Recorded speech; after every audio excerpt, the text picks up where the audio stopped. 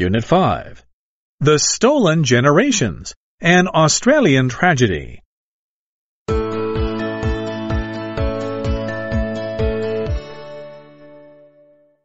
Read about it.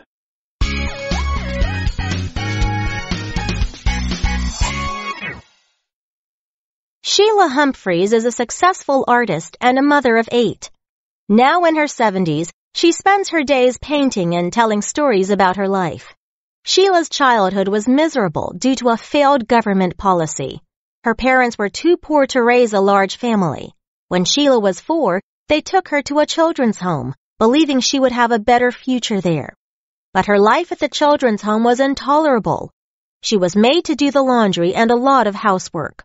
When she was eight, her parents took her home again. However, just three months later, the police came and pulled her away. Then, Sheila spent the rest of her childhood at the children's home. During this time, she was treated like a slave and was never educated. Why did such a tragedy happen? The reason is that Sheila's family were indigenous Australians. It was the racial policy that tore Sheila's family apart. If they had been white people, their lives would have been different. Sadly, stories like Sheila's are common across Australia. Thousands of indigenous children were taken away from their parents between 1909 and 1969.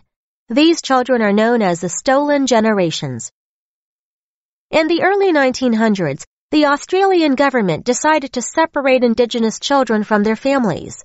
This policy was implemented to protect them and to keep Australia a pure white nation. Indigenous Australians were sent away to live in settlements, which were like prison camps.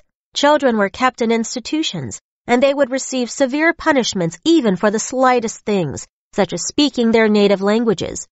Children with pale skin were adopted by white families and never saw their parents again. Their parents were given jobs to do. Men did physical labor and women worked as servants.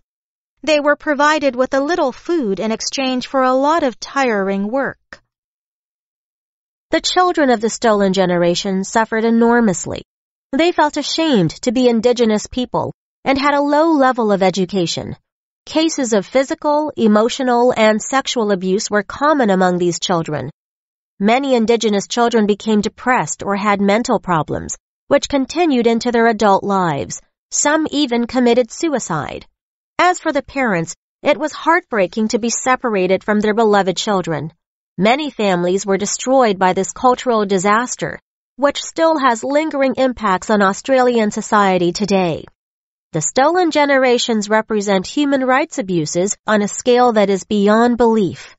The discriminatory policy has resulted in numerous horrible stories as well as the tragic loss of indigenous cultural knowledge. Unfortunately, unfair racial policies toward indigenous people were not unique to Australia. First Nations children in Canada and Native American children in the United States had also been discriminated against and removed from their homes. If people hope the world becomes a better place, it is everyone's responsibility to ensure that people around the world can get fair treatment. Therefore, people must learn to respect one another, regardless of race or culture, and make sure no child has to go through what Sheila experienced all those years ago.